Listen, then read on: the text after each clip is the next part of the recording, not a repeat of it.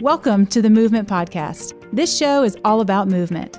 We tackle it from different angles, bring on guests, answer questions, go on a few tangents, and give practical advice, giving you guys a better idea of how you can optimize the human body to be the best it can be. Let me give you a preview of what's coming up in this episode. On today's episode of the Movement Podcast, Gray and Lee discuss creating new routines and how to seize the moment to create new habits. They talk about their own journeys with intermittent fasting and what catalyst sparked them to create those new routines.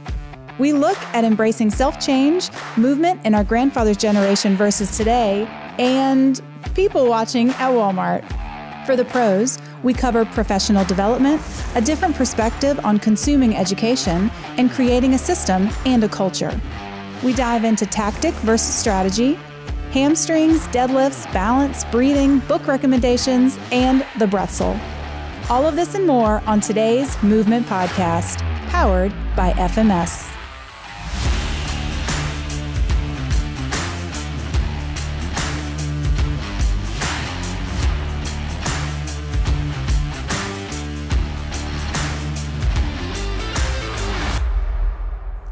So, Gray, a lot's changed, uh, and the, the, world's a different place now than what it was. And I think that's part is of of life. And uh, as humans, we've got to adapt to that. And I think how we adapt and respond is really what creates a better, healthy lifestyle. Is being able to take all the crap that's thrown our way and being able to deal with that and figure out a way through it. Creates resiliency, durability, and ultimately, in my opinion, it creates a lot, lot longer term healthy lifestyle. No, I, I think you're right. I, I, I, had a lot of time to think about this because about uh, two and a half weeks ago, I was sitting on a plane coming home Sunday from one of the last flights that I think anybody should be taking at the time, and sitting here thinking, wow, we're going to be locked down for a while. And the very first thing I started thinking is, you know how everybody always says someday or one day I'd like to? Well, you've had about 14 of them and you're going to have 30 or 40 more before anything changes. And so the books you wanted to read the new things you wanted to do you need to do them i mean nobody's stopping you from walking around the block or grabbing a jump rope in the backyard or learning how to do indian clubs or actually perfecting the turkish get-up that you've been bringing a lot of dishonor to. So it doesn't really matter what you do but but i see a whole lot of people spend a bulk of their day talking about what's going to happen. What's getting ready to happen is more of the same. And so take some of this extra time that you have and and sand down some of the things that you've been wanting to do. I mean, and and that's when I I I, I was the kid that that absolutely loved the snow day because I always had all these things I wanted to do other than what my teachers wanted me to do. So when we got a bank of four snow days together, yeah, I played, but I did a bunch of other stuff. I explored a lot of other stuff. I finally do something on my motorcycle I needed to do and it was it was awesome. And so I had this whole to-do list that was never going to get done. It's half done already. So, you know, and I, and I haven't worked out that much, but I've been active like 8 hours a day. So, well, what what happens sometimes is is everything becomes a routine. You know, I mean, so now things have changed and we're in a different, we're kind of in a different place. Well, then you get right back into a different routine. Before a lot of things happened, you go to work, you know, you work your eight hour day, you come home, you may or may not exercise, your kids, you're all this and that. And by the time you repeat the whole thing over again, well, now maybe you kind of got sucked back into that thing. And I think part of the thing we all have to do is realize that I've got to create change sometimes. I've got to change up. So what I did today, I need to do differently tomorrow. And always think about some things that I need to be doing that I may not want to do. Again, it kind of go back to, you know, think about things you're really not good at and then maybe try to tackle some of those. The, the, weakness. I, I imagine let's let's fast forward our brains into maybe six, eight, nine weeks. We're all back at work and you're looking at everybody else. Some people are thinner. some people are, are, a little plumper and some people are exactly the same and and and they're going to take those distribution or some people are going to be more positive some people are going to be more negative some people made the best of it and so you know it's a trend and you get to pick who you are now 6 weeks from now well and, and you've got to still think about those things that um, we all know that we can impact. You know, um, again, you know, right now, if if we're sitting at home, it's easy to sit in front of the TV and say, okay, I'm just going to watch Netflix and I'm going to binge watch Netflix. That's okay every now and then, but you can't do that every day. Well, you know, it, and it was really weird. You and I started intermittent fasting near the same time. I think you had a bad experience in an international flight and you just said, I've been so sick lately. This is a great time not to eat. I did it because of a bunch of health concerns and the in the the funny thing was, you and I had the information that was very positive toward, hey, if you if your if your life is stressed, if your if your workouts are compressed, just changing the way you eat, or maybe uh, compressing your eating window and increasing your non-eating window allows your body a lot more time to repair. You and I both started that at the same time for different reasons. And it stuck with both of us because as I was into my journey, I looked over, Lee, you look like you're dropping weight. And and we both started doing it. Now it's a habit i don't even think about because it actually feels feel, feels better. And so you know but a crisis actually caused your intermittent fasting if you remember and one caused it for me. And yet I wouldn't take anything for the experience that he gave me. So. Yeah, because I started looking a lot better than you, and you said, "Holy shit, Lee, I got to do something." so that was really what prompted. That was the crisis you had. It was. It was is the it, fact that you can't let me lose a few pounds, and without you doing something. Well, I think it's easily been resolved because no. Well, I don't know about all that, but yeah, I mean, you know, it's it's you know, we got to hopefully if if we're we're responding to whatever's coming at us and we're creating the new habits, hopefully those new habits are going to be better. And I think that's part of what we've got to do. And I think going even going back to where where we focus our efforts and energy most of the time professionally is you know exercise and making sure you're doing certain things setting a baseline. There's no reason you can't do that right now. If you're if you're going out for a walk which is something the most common form of exercise in the world is walking. Well if you get winded after walking for a mile there's your baseline. In a week try to walk a mile and a half. It's these simple little things that can have a huge impact and before you know it a month later you're walking two miles that's right. three miles. The problem is what comes next though gray people start trying to then, okay, I can walk a couple of miles. Let me start running. Well, we also have to tamp down that progression, if you will. It goes right from that first 5K that you ran walk to a Spartan race in eight weeks.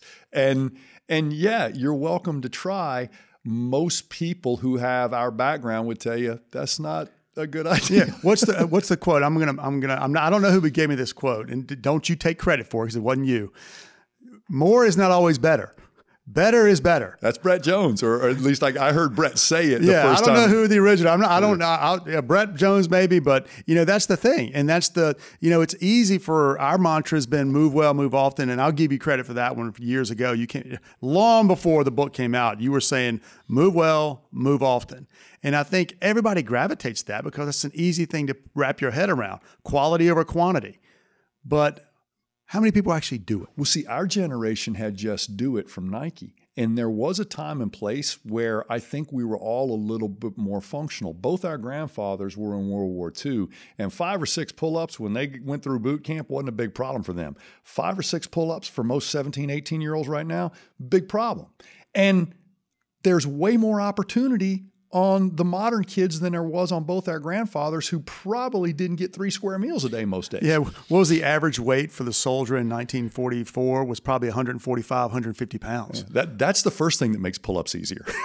I mean, be, be, a smaller version of yourself. you know, it's the same thing. I mean, those people what's what's one of the biggest risk factors for injury? What's one of the biggest problems we have is BMI. Well, 145 150 pounds at a 17, 18, 19 year old, 20 year old, you say we see a 145 pound 20 year old right now, it's an anomaly. They're an outlier. Yeah. Yeah. And they, they were normal when we were all more that, but, but it's really easy to look around and if you're normal, maybe that's not a good thing right now. And, and what other, and, and Matt was helping me with this, doing some research. What other physical diagnosis can be made by looking at you across the room? If you're overweight or obese, there's a 99 point something percent chance you got a metabolic problem. I mean, we can try to be politically correct, but the whole thing is if you're consuming more than you're putting out, you are a problem because the planet don't like that. nature don't like that and animals don't do that. We're we're the culture that decided let's consume way more than we produce from a physical standpoint. And again, most everybody thinks that they're more healthy than they are. But when you get right down to it, people people understand that, you know what, I'm not eating right, I'm not exercising enough.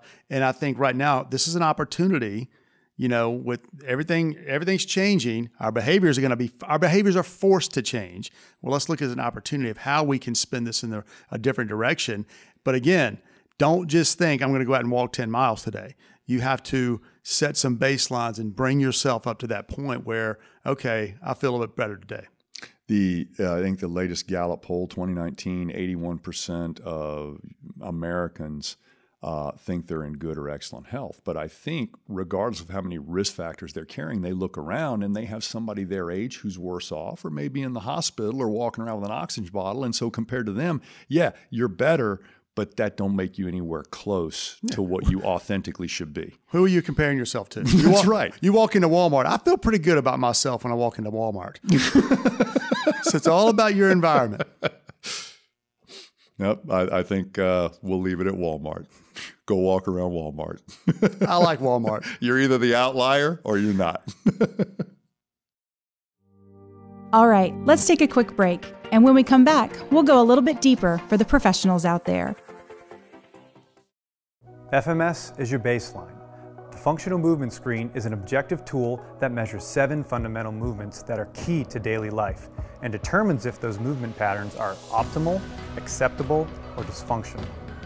While the screen is simple and efficient to perform, each test has been strategically selected due to the significant feedback it provides on mobility, stability, and how both work together for larger integrated functional movements. Based on the screen results, FMS professionals can then prioritize exercise and programming to accommodate their clients' needs so they can achieve higher levels of fitness and performance. This highly customized exercise selection protects clients from factors that inhibit progress and produces self-aware clients and athletes who can now reach greater heights in lifelong movement health and vitality. Whether your focus is optimizing training, maximizing client retention, or enhancing communication, the screen helps you get there. It is the foundation for one of our basic beliefs, play to your strengths and work on your weaknesses. Explore our course options and get started today. All right, Lee, let's take a deeper dive. And, and, and I want to talk about professional development for a minute. And I think you're going to see where I'm going because it actually will be an asset when, when times change. Back in the early days when we're at the clinic together, it's me, you, and Kyle and the guys. And, you know, I'm barely on the lecture circuit. I'm doing about two, three talks every semester, but not doing a whole lot. If anything, as a group, we're taking more workshops than we're giving. We're we're listening to Shirley Sahrmann, we're listening to Brian Mulligan, we're going to all these different things. We we had all these people come through the clinic. And the cool thing is when we would consume continuing education, I don't know if it was just our culture or whatever, we wouldn't go and criticize anybody. We would look around and, and we'd be sitting in a course and we'd see stuff that we already knew we weren't going to use. It, it's not going to work here or we don't have that equipment. But we just let that wash over us. And we simply said, but we can use those four things. And I would basically say, guys, let's try to do justice to those four things for two weeks. And after that, there's no obligation. And if they stick, that means they're working. I trust this culture.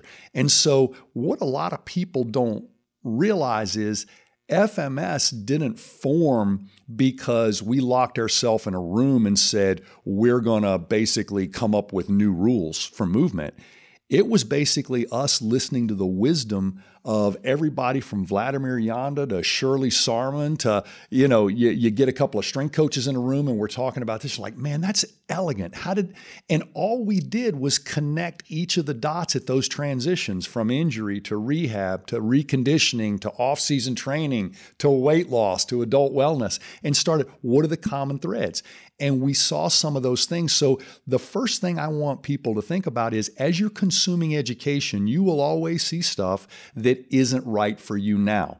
you don't need to do anything but acknowledge it, and you don't even need to tell anybody else because it might be right for them. What you need to focus on is those things you're like, I could implement that tomorrow and I could see the feedback of that by next Thursday. And those are the kind of things we did. And I think because we didn't try to bash anybody else, we simply tried to say, I'm going to get one thing from over here and one thing from over here. It set us up to actually have a lot of conversations. And from that platform, I want you to speak to how many strength coaches in the in professional athletics have you been able to mentor on a cell phone because once they got their head around how we're looking at movement, you could say that guy's got a 1 3 lunge. Boom. You both on the same page, you know what you're talking about, you know the history, the extenuating circumstances, and you actually created communication, accountability, and a mental picture, and you're working remotely on something that used to take one on one live instruction. And that's no more timely than now. So if you know your material and if you have a big box of tools, you can do a lot of good work remotely because our system says if you're not working on the weakest link, please tell me what you're doing. Well, uh, well also, kind of, Gray, what you're, to me, what you're alluding to is, again, the system and the culture you're creating. So, whatever tool, and again, you know, we did a lot of education early on and still do education right now, obviously. But what you're talking about is you take in all education and you try to develop your own system and your own philosophy based off whatever tool or implement that is. And if you do that, you don't need the tool or implement. It's still the concepts and philosophy that you're following. And I think again, my my experience in point to, you know, kind of going back to that whole thing with with uh, during education is I used to I was the orthotic guy. You know, I was building, I was doing, everybody was getting orthotics. And I think where I where the light bulb on, and that aspect went off for me was I I felt like I became better at realizing who didn't need orthotics. Exactly. Okay, that's the whole thing. Is I'm sitting here went to this class. Okay, now everybody's getting orthotics. I'm injecting these molds. I'm doing this. Not even thinking about it because everybody needed an orthotic. Well, when you start figuring things out, you realize all right that person doesn't. And I think going to what to kind of get back to what you you specifically asked me is I think if you've got good concepts, you can adapt and you can figure that out whether you've got the tool whether you've got the equipment, whether you've got the environment, you can create that communication. And I think that's part of it when you're trying to, you know, get into the remote training or, or the things that that probably a lot of us have had, had to adapt to. If you've got that environment, the philosophy is still there. It doesn't matter what you're talking about. And you, you just said it's still going to be let's make sure we're focused on the right thing and not clouding all this up with all these other things. Some of our most pivotal cases that you and I have consulted on started as a remote relationship, and we had to maintain the integrity of that relationship until the live uh, presentation uh, presented itself. And one of the issues that I adopted early as we went to all these courses, as, as a team consuming that information, is most people were showing us a tactic, not a strategy. They were showing us how to tape an ankle, how to manage a trigger point, how to basically activate the core. They were showing us a bunch of good tactics. What we came back and said, where does it fit in our strategy? Because it's really easy to let the orthotics own the day. It's really easy to let the dry needling and kettlebell well, well, own great. the day. Speak to this. A great example and something that everybody deals with. Okay. Is one of the first teams we consulted with. They called us because they're having all these hamstring problems. so why you know we're getting all these guys who are having hamstring problems, and I remember going in and they'd bought all this fancy equipment that were supposed to address ham- their hamstring problems. So long before you went in and actually started talking to them, I mean, we were uncovering a lot before we could actually think about what was going on the, with the hamstrings. The reconnaissance was done and we knew exactly what we were going into. And I think a lot of the times where I've gone into places that started having hamstring problems, it's somebody got hurt deadlifting, probably doing it wrong. And then all of a sudden, deadlifts isn't part of the routine, but yet we're still squatting and leg pressing and hamstring curls and stuff like that. And there's something about the deadlift that tells the posterior chain how to behave. And if you delete deadlifts arbitrarily because somebody did it wrong or was taught wrong, that's not a good reason to delete it. So sometimes just bringing deadlifting or deadlift patterning or single leg deadlifting or some variation of a posterior chain stress lets you know where your hamstring problems are before they're a problem and then and you get out of that. But there's so much reactionary exercise decision making that there is no strategy. So if you're going to go remote with somebody, most people will make you almost ask you, almost demand, give me this tactic. I want to do side planks. I want to put magnets under my pillow. I want to do something. That's where they want to take the conversation. If you're a professional and you're worth the money somebody's paying you for remote, you must lay out the strategy first and then you will use the tactics that you trust. All right, give me an example because I know how you are, Gray. You're throwing a lot at us right now. So give me an example of what you mean by strategy. Okay. Uh, I've worked with a, a pro golfer remotely and said, listen, stop telling me all these things about balance. I want you to put a balance beam in your backyard. I want you to put your buds in, and I want you to walk for three songs without falling off that balance beam. Took him a week to do it. He couldn't make it through three songs. By the time he did, the balance conversation was over. That's what I'm saying. You're trying to hack balance, and I'm trying to grow balance. When you're sanding a board, which right, stroke is the best? What's a tactic then? the tactic? Yeah. Oh, if, if he just said, I don't have a balance beam, we would have done something else. I'd have said, I want you walking So up. strategy was giving him the opportunity to create balance. Quit thinking about balance and grow it. Babies don't think about balance, they grow Your it. tactic was put your earbuds in. Yes. Balance is automatic. Hitting a golf ball is conscious. I need you to balance automatic while you're striping the hell out of that golf ball intentionally. And I think that's where a lot of people now trying to get into this remote training. And let's be honest, remote training is not right for everybody, and not everybody can educate someone on doing doing remote training. Telling somebody here's the strength here's the strength program of today. Uh, here's what I want you to do, and you email it to them. You and I both know that's not going to work for everybody. Some people it might work for, but not everybody. So giving somebody more strategies and how to attack their issues really what needs to be concentrated on. Well, once I got the balance beam as a baseline and I got somebody who can't make it through half a song, I can say, hey, remember that toe touch progression that I put on the internet for you or whatever? Do that before the balance beam. Oh, you made it a song and a half. Do you have value for this corrective? Yeah. Do you know what corrective means? Yeah. It got me ready for the balance beam without practicing the balance beam. Good. Make that your cool down as well. So I always set the obstacle up and let them tell me they have difficulty. I don't tell them a damn thing about their self because they don't believe anything I say, but they believe everything they say. I think this is that's one thing that may come out of this whole new environment that we're in with remote training and people not being able to do certain things like they used to. Whether they they can't go to the gym or whether you know they can't afford the trainer anymore there's still so many things. And i think that the one thing you just said is they got to create their own internal awareness. Because if they don't do that they're never going to figure it out. Somebody wants to lose weight well the first thing they need to do is step on a damn scale. Say i weigh like this oh my God, because that's one thing that hit me. That was my big aha moment that I needed to lose some weight, stepping on a scale for the first time in two years. So I think that awareness in your movements and even in your strength training, there's ways you can do that. How many squats can you do? Oh, I can't even squat. What does that even mean? Yeah. You know, so I think people just assume, hey, can you do this or that? Especially if you're remote training, you may they they may tell you they can squat, but you have no idea because they can't judge themselves.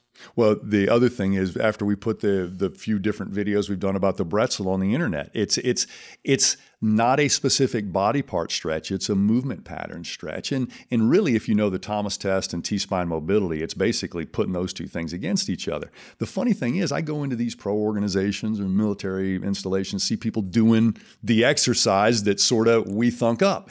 And the funny thing is, I walk up and somebody's just cranking out the Bretzel. It literally looks like they're getting an appendectomy, right? And What does that look like? Well, it's the worst face you ever saw doing an easy stretch. But if it's not easy, the first thing you got to ask yourself is listen, are you supposed to be holding your breath during a stretch? And if you are, you're probably going too far into the stretch or experiencing some discomfort. Both things we don't need you doing. I need you to breathe your way through this. There's nobody in yoga that would say hold your breath during a liberating movement. And there's nobody in martial arts that would say hold your breath during an explosive movement. Everybody's got a way you should be breathing. And so if I put you in a move and the very first thing you do is hold your breath, well, you can't survive in that place because if you can't breathe there, that's not somewhere your body's even going to remember how to get there. So my whole point is taking the exercise and not taking the intent and the awareness and the breath That's is the, basically taking the medication that is, wasn't designed which. I believe is getting ready to happen worse than ever. It is. Because people are going to assume they're going to start in this remote training and they're just going to take the workout and give it to their clients and yeah, it may work for, again, it may work for some, may not work for others. And there's things, information you can gather even from remote, you know, you start talking about education, there's still things you can do. Can you touch your toes? Can you balance on one foot certain ways? Can you walk for a mile? You know, one of the best, again, injury risk indicators is your mile and a half run. Yep. Well, what's your limit? What's your mile and a half walk? Look like? What's those baseline pieces of information that you can gather before arbitrarily assigning exercises? The Bretzel's a great exercise for some people. I'm not sure it's a great exercise for a gymnast.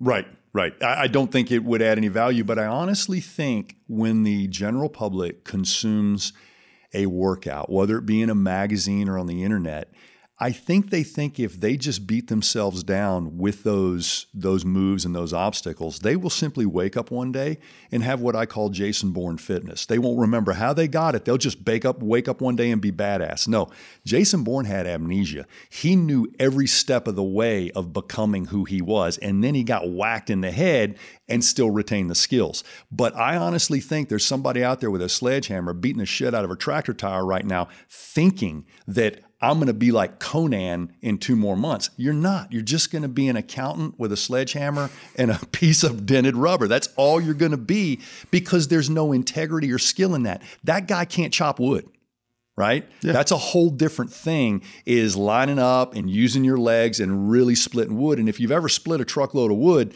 it is not even on the same planet as what you're doing to that tractor tire. Yet, metabolically speaking, there's a guy with a little cart working around that'll tell you that, that there is, and there's not. It's not. Yeah, so I think it still goes back to no matter you know when you start trying to do this remote training, do this you know offsite counseling. If you, you got to build in feedback loops, you still have to do feedback. You still have to have your system in place yep. in order to ensure you're doing the right thing. And I think right now a lot of stuff's going to get weeded out in well, my opinion, over the next you know six months to a year, um, where anybody, almost anybody could just prescribe something. Well, now it's not going to be as easy. You got to love people enough to confront them with their weakest link in as kind a way as possible, because more than eighty percent of Americans thinks they're above average drivers. The math don't work. So that's called the Dunning Kruger effect. Anytime we learn something, anytime somebody drops 10 pounds, before you know it, they're a spout, they're, they're an exercise expert. And basically just Shut up and let your actions speak louder than words and stay self aware. You should be able to argue both sides of almost anything you're getting ready to invest your time in and then easily allow one argument to have a much better positive column than the other. It's a it's a risk reward thing, but most people don't even want to have the polarizing arguments because they just want to follow something and assume it's going to work like a Disney movie works out. It doesn't work out that way. You've got to be able to argue both sides of it. And if you do it intelligently, you'll know exactly what to do. Not in five minutes, but in about 48 hours. Most people ain't got that kind of time. Great stuff. All right, let's wrap up this episode with a few questions. So, intermittent fasting is a hot topic lately, and you mentioned it being part of both of your lifestyles. Was this more of a nutritional decision or more of a biohacking decision for you?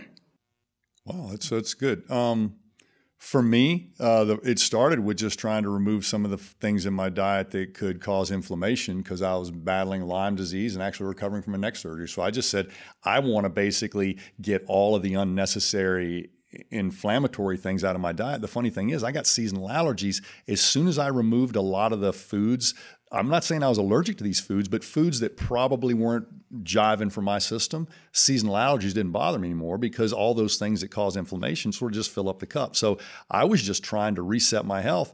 And I had to talk with myself. I'm like, I am not nearly as active as I used to be, and I'm eating the same amount So that's probably not a good idea.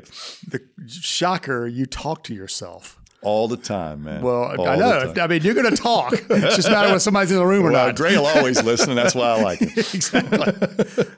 Uh, for, for, me, it was it was definitely more nutritional and just lifestyle. Um, you know, like like I said in one of the, you know, previously is I got on the scale. I knew I had I was way overweight or where I wanted to be, but I'd been probably like no different than most people. I'd been battling different ways to lose weight for years.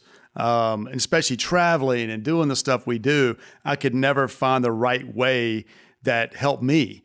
And you know, I remember telling Gray, you know, I was doing the intermittent fasting, and I remember I, I, went on one of my trips. I was in Korea or somewhere in Asia for 10 days, and it was like a light switched that I felt like, all right, this, I've got it, and my weight just went really down really quick. And I know that's what a lot of people have, have seen with intermittent fasting. And from this point on, the other, the other thing I think that has helped me is that when I started doing intermittent fasting, my water intake went way up. So my my calories went down, my water tank, my water tank, water intake went way up, and I think that has probably been what's been able to help me out the most. Again, I'll, I'll keep saying it. I'm not sitting there recommending everybody do it. It just helped me. Well, I, the the funny thing is, I hear so many people that want to become a disciple of a single diet, whether it's paleo or totally vegan, plant based, or or intermittent fasting, and the most profound thing I ever saw written or said by people who are on the other side of trying something new is it changed my relationship with eating. It changed my relationship with food. And and really you and I have been talking about that. When we put somebody through a movement screening process or a corrective strategy, it changes their relationship with exercise because when you show a runner, listen, let's cut your mileage back, let's increase your your mobility in your ankles, let's re reestablish your core, let's get one lift day in there a week and then go back up they're they're six months away from a personal record, and they didn't realize that they were trying to volume their way into into performance. You can't do that. You've got to basically quality your way into performance, and so by cutting back, a little less is more. But ultimately, you changed your relationship with food. And I was actually scared to intermittent fast because anytime I would skip a meal in the old days and my blood sugar would crash, I would I'd make somebody in the clinic cry. I was I'd get, I'd get hangry, but I didn't realize intermittent fasting isn't feeling like that all the time. It's feeling like that the first day, but you solve the second problem, which is if you feed that uh, drive to eat by simply drinking, they're the same signal. The signal to drink and the signal to eat are usually the same thing, and we get so used to eating instead of drinking that we're in a constant state of dehydration. So much so that most people, if we get them a little bit more balanced out, they can change some of their movement test in a day or two just by more fluid intake and less bad calories. And all of a sudden, the system reaction time is just a fraction better. But that's where mobility and stability start. Nowadays, we are constantly getting hit with information from so many angles.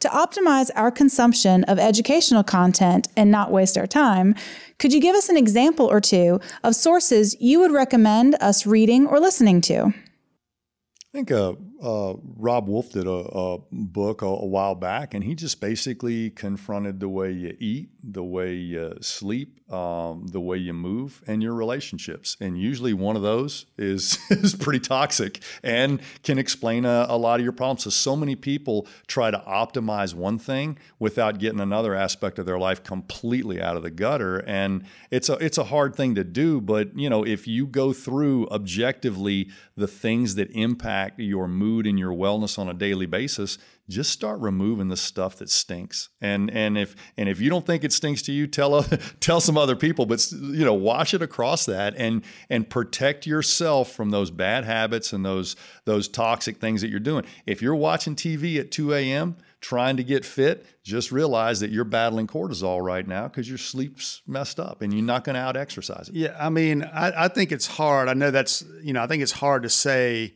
this is who this is a great resource or that's a great resource. Because i think it again i hate answering a question with the whole word depends but i do think it's almost like you as an individual have to figure out what you need.